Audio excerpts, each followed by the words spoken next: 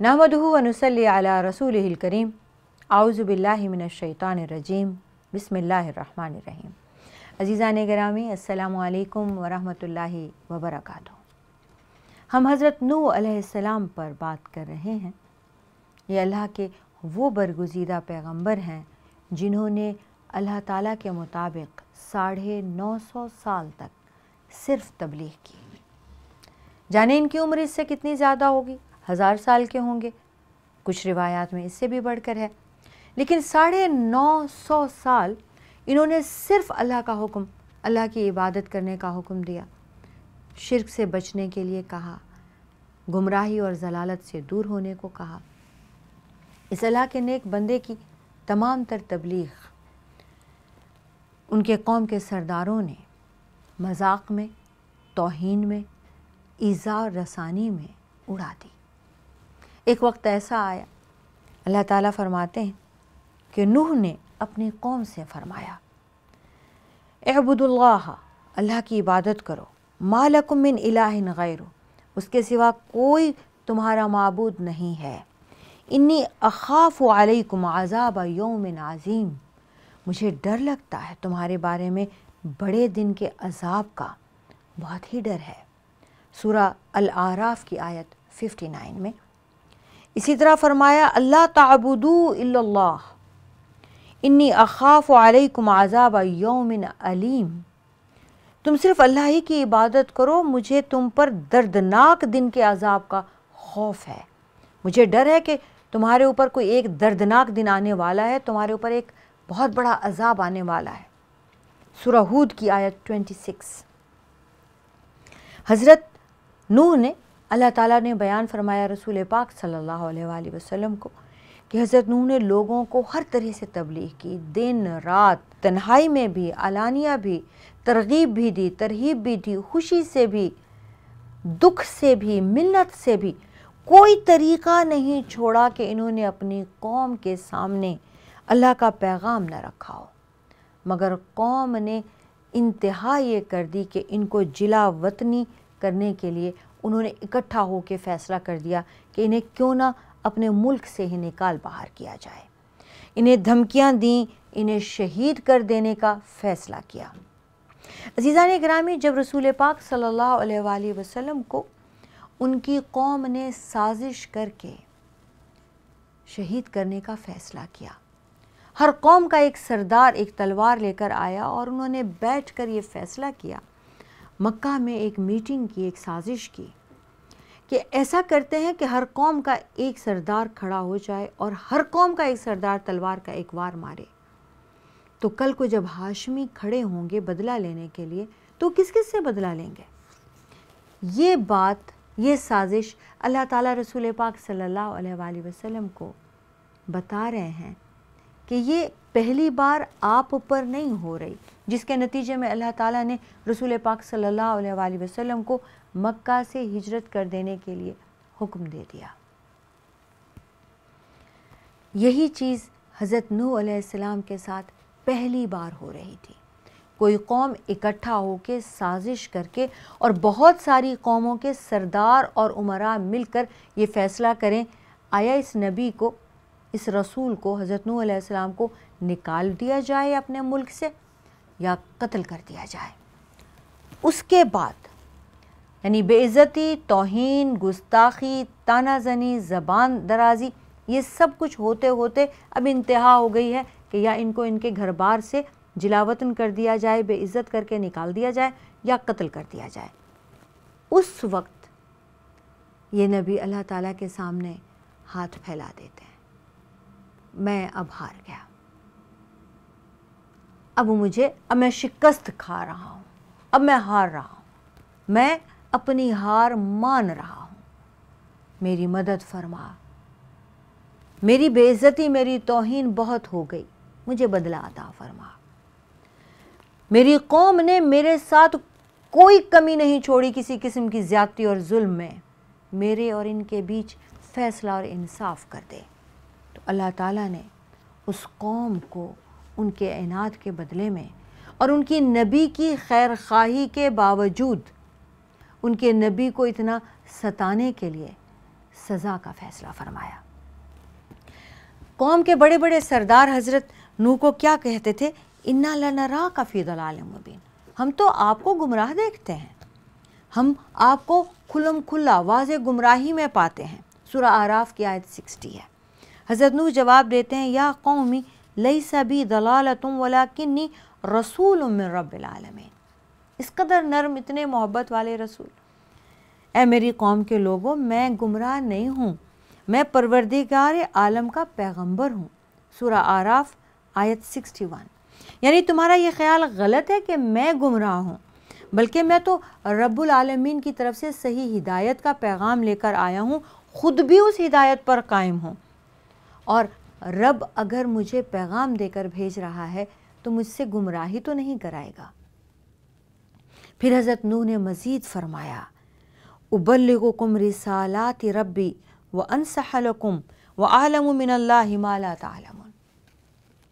سورہ آراف آیت sixty two میں تمہیں رب کے پیغام پہنچاتا ہوں، تمہاری خیر خواہی کرتا ہوں۔ مجھ کو اللہ کی طرف سے ایسی باتیں معلوم ہیں جو تمہیں معلوم نہیں ہیں۔ تم بے خبر ہو۔ اور رسول کی شان یہی ہوتی ہے کہ وہ فصیح و بلیغ بھی ہو، نرمی والا بھی ہو، نصیحت کرنے والا بھی ہو، خیر خواہ بھی ہو۔ اور اللہ کی عظمت اور شان کا، صفات کا وہ علم رکھنے والا بھی ہو۔ اور رسولوں کو سب سے زیادہ علم ہوتا ہے۔ اللہ تعالیٰ نے جتنا علم اس کائنات میں بھیجا ہے، ان میں سب سے زیادہ علم رسولوں کو عطا کیا ہے۔ انبیاء کو عطا کیا ہے۔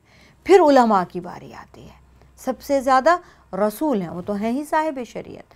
پھر انبیاء ہیں، وہ اسی شریعت کو اے ٹو زی سمجھتے ہیں اور آگے پھیلاتے ہیں۔ اور اس کے بعد قوم کے یا ان رسولوں اور انبیاء کو سمجھنے والے علماء ہیں۔ تو اللہ تعالیٰ نے یہ واقعہ آپ صلی اللہ علیہ وآلہ وسلم کو پورا سناتے ہوئے فرمایا۔ کہ قوم کے سرداروں نے اعتراض کرتے ہوئے کہا، وما نرا کتبا کا الدین اراضلونا بادی رائے، وما نرا لکم علینا من فضل بل نظنکم کاذبین اور ہم یہ بھی دیکھتے ہیں کہ تمہارے پیروکار تو وہی لوگ ہیں جو بہت گھٹیا، ادنا درجے کے لوگ ہیں۔ اور وہ بھی رائے ظاہر سے یعنی کوئی غور و تفکر نہیں ہے ان میں، کوئی عقل سمجھ شعور نہیں ہے۔ بس سرے راہ بس سنتے ہیں اور آپ کی بات مان لیتے ہیں، کیونکہ ادنا لوگ ہیں، گھٹیا درجے کے لوگ ہیں۔ اور ہم تم میں اپنے اوپر کسی طرح کی فضیلت بھی نہیں محسوس کر رہے کہ تمہیں ہم مان لیں، تمہاری بات کو مان لیں، بلکہ تمہیں جھوٹا تصور کرتے ہیں۔ سرہود کی آیت ٹوینٹی سیون ہے۔ انہیں اس بات پہ حیرت تھی کہ ایک انسان اللہ کا رسول ہے۔ وہ نو علیہ السلام کے پیروکاروں کی توہین کرتے تھے، انہیں کمتر سمجھتے تھے۔ اور ایک کال کے مطابق، واقعی یہ کمزور لوگ بھی حضرت نو علیہ السلام کی زیادہ تعداد میں، آپ کے پیروکاروں میں زیادہ تعداد کمزور لوگوں کی ہی تھی۔ جیسے کہ ہرکل نے کہا تھا، رسول پاک صلی اللہ علیہ وآلہ وسلم کی جب وہاں پہ تبلیغ ہوئی، تو اس نے بھی یہ کہا کہ کمزور ہی رسولوں کی پیروی کرنے والے ہوا کرتے ہیں۔ جب ابو سفیان نے کہا کہ ان کے پیروکار ان پر ایمان لانے والوں کی تعداد غریبوں کی ہے، غلاموں کی ہے، امت کے قوم کے کمزور لوگوں کی ہے۔ تو اس نے جواب میں کہا کہ ہمیشہ رسولوں کے پیروکار کمزور لوگ پہلے ہوا کرتے ہیں۔ رسول اللہ صلی اللہ علیہ وآلہ وسلم نے عزیزان گرامی حضرت صدیق اکبر کی، حضرت ابو بکر صدیق کی تعریف کرتے ہوئے فرمایا تھا کہ میں نے جس انسان کو بھی کبھی اسلام کی دعوت دی، تو اس کی طرف آتے ہوئے تھوڑی دیر کو جھجکا۔ اس نے سوچا، مگر ایک اکیلا شخص ابو بکر ہے جس کی زبان لمحے بھر کو نہیں رکی اور اس نے فوراً میرے ایمان کو، میرے دیے ہوئے دعوت کو قبول کر لیا۔ اسی طرح حضرت نو علیہ السلام کے کافروں نے اپنے نبی اور مومنوں کے بارے میں وہ جملہ کہا جو مکہ کے کافروں نے رسول پاک صلی اللہ علیہ وآلہ وسلم کو کہا، وما نرا لکم علینا من فضل. ہمیں آپ میں کوئی فضیلت نظر نہیں آتی۔ کوئی برتری محسوس نہیں ہوتی، کیوں ایمان لے آئیں کیوں مان لیں آپ کو کہ آپ کو اللہ نے چن لیا ہے؟ آپ کو اللہ نے رسول اور نبی بنا لیا ہے، کیوں مان لیں یہ بات؟ اس بات کو ماننے کی کیا وجہ ہو سکتی ہے؟ بلکہ کچھ نے تو یہاں تک کہا کہ اللہ تعالیٰ کو انہی کو بنانا تھا۔ طائف کے فلاں فلاں سردار جو اتنے اتنے مال والے ہیں، جن کے بارہ بارہ چودہ چودہ بیٹے ہیں، جو بڑے بڑے سردار ہیں، اللہ تعالیٰ کو وہ نظر نہیں آئے تھے۔ مکہ کا ایک عام سا آدمی، نعوذ باللہ۔ ایک یتیم اور پھر اس کو بیٹا بھی نہیں، پھر اتنا مال بھی نہیں۔ اللہ تعالیٰ نے اسے کیسے چن لیا؟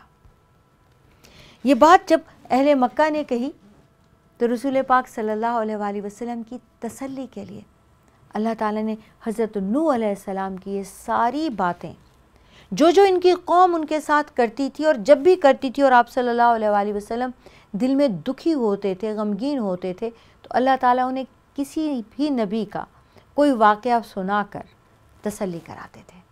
اور حضرت نو علیہ السلام کے ساتھ چونکہ یہ اتنے زیادہ واقعات اور اتنا زیادہ زیادہ مدت تھی، اتنا عرصہ تھا ان کے پاس کہ کوئی بھی ایسا واقعہ جو آپ صلی اللہ علیہ وآلہ وسلم کے ساتھ ہوا ہو، ایسا نہیں تھا کہ جب آپ صلی اللہ علیہ وسلم بیٹھے اور اللہ تعالیٰ نے انہیں حضرت نو کے ساتھ ریلیٹ کر کے بتایا کہ یہ بھی حضرت نو کے ساتھ ہو چکا ہے، یہ بھی اس پیغمبر کے ساتھ ہو چکا ہے، جو آپ کی قوم آپ کو کہہ رہی ہے، یہ اس سے پہلے ہو چکا ہے۔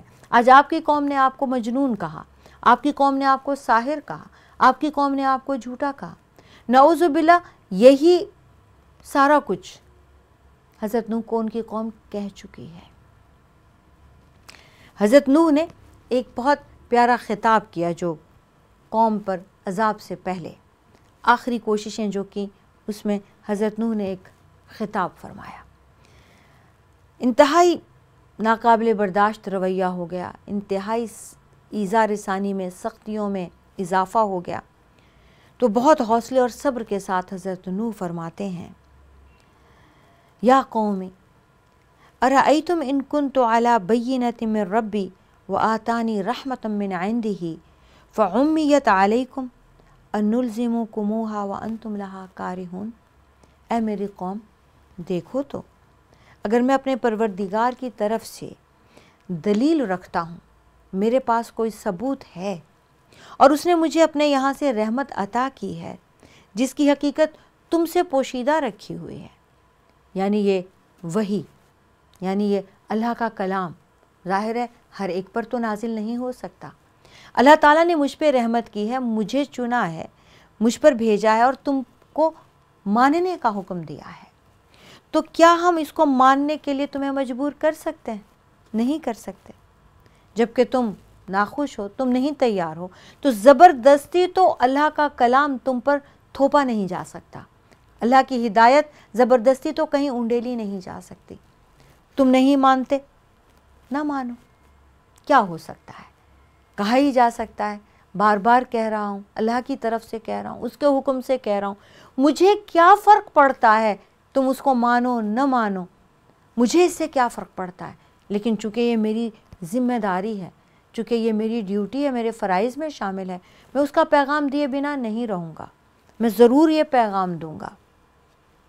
اس قدر نرم اسلوب ہے، اس قدر میٹھا اور پیارا حق کی طرف بلانے کے لیے حضرت نوح کا انداز ہے کہ اللہ تعالیٰ نے حضرت موسیٰ اور حضرت ہارون علیہ السلام کو اسی طرح فرعون کے بارے میں بھی حضرت نوح کا یہ انداز بتایا کہ دیکھو بہت محبت سے اللہ کی طرف بلایا کرو۔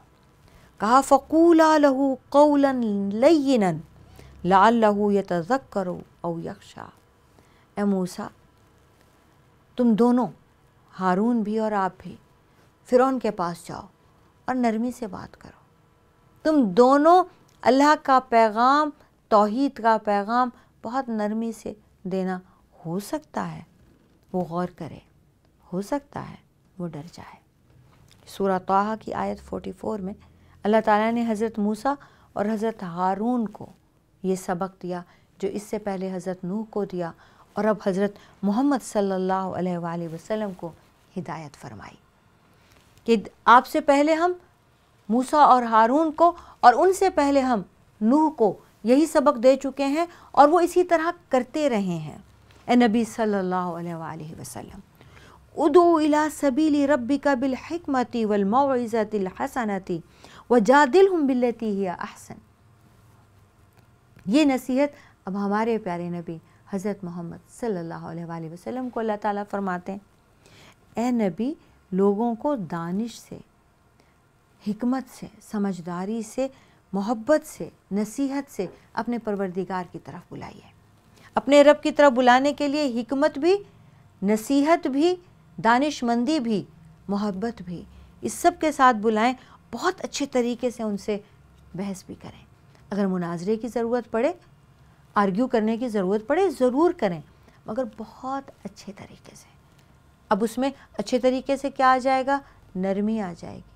خیر خواہی ہوگی، خلوص اور محبت ہوگی، تو دوسرے کو یہ پتا ہوگا کہ آپ اسے حقیر نہیں کر رہے ہیں، آپ اس کی توہین نہیں کر رہے ہیں، آپ اسے تانا نہیں دے رہے ہیں۔ آپ اس کے مخلص ہیں۔ اور جب کوئی مخلص آدمی کسی کو ڈانٹ ڈپٹ بھی کر دیتا ہے، تو چونکہ آپ کے خلوص پر بھروسہ ہوتا ہے، تو برا نہیں مانتا۔ اگلے شخص کو وہ برا نہیں لگتا۔ لیکن آپ مخلص نہیں ہیں، آپ کے خلوص پر بھروسہ بھی نہیں ہے۔